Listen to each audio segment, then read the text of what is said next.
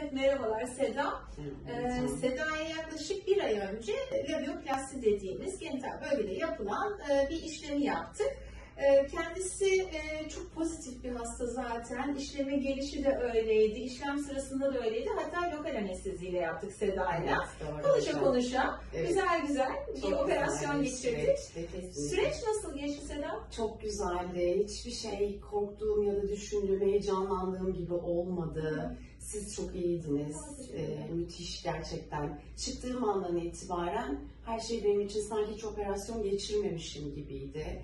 Çok rahattım. Hatta bir gün sonra dans ettim. Öyle bir sürecim vardı benim ve bunun sebebi tabii ki iyi bir doktor ve kesinlikle çok iyi bir bakım olduğunu düşünüyorum Evet. ben. Siz işinizin ehli olduğunuz için e, biz de biraz hani böyle Tabii. daha e, üstüne düştüğüm Tabii için durumun. söylemeni iyi. Bu tek taraflı olan bir iş değil aslında. Ee, hekimle hastanın beraber koopere olması gerekiyor. Kesinlikle Her bakımdan. Öncelikle ön muayenenizi yapıyorum, nasıl bir görüntü alacağınızı söylüyorum. Bunda hem fikir oluyoruz. Ondan sonra işlemi yapıyoruz. Bakımlarınızı anlatıyoruz.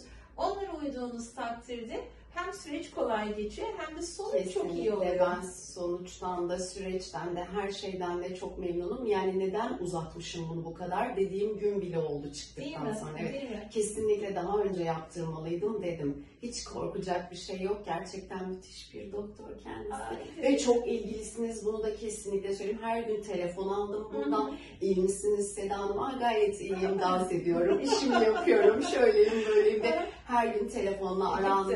Evet. Evet kesinlikle ekibinize de size de çok teşekkür ederim. Ellerinize sağlık. Ben inanılmaz derecede memnunum her şeyden.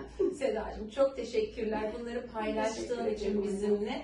Ee, gerçekten diğer bu konuyla ilgili düşünen, kendisini hala buna hazır hissedemeyen kişiler için bunlar çok önemli. Kesinlikle. Ee, sizin kesinlikle. düşünceleriniz çok önemli. Hiç korkmasınlar. Kesinlikle çok müthiş bir şey. Sonucu her şeye değiyor yani sonucu. Aa, teşekkür ederim Sedacığım. Çok sağ ol bu röportajı verdiğin için. Çok teşekkürler.